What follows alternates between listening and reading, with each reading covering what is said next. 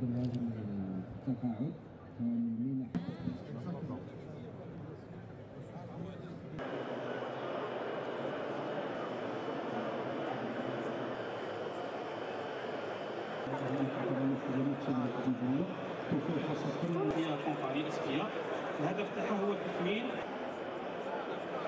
في هذه الطبعة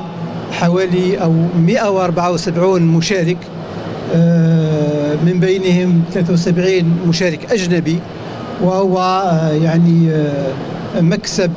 إضافي للقطاع على غرار الطبعات آه، السابقة. طبعا الهدف من هذا من هذا الصالون هو إيجاد هذا الإطار لتبادل الخبرات تبادل الجانب التكنولوجي سواء ما بين ال- الوطنيين المحليين أو المتعاملين المحليين وأيضا آه، آه، النظر في أيضا في التجربة الأجنبية بمشاركة الكثير من المتعاملين الأجانب في هذه الطبعة. وأيضا إبراز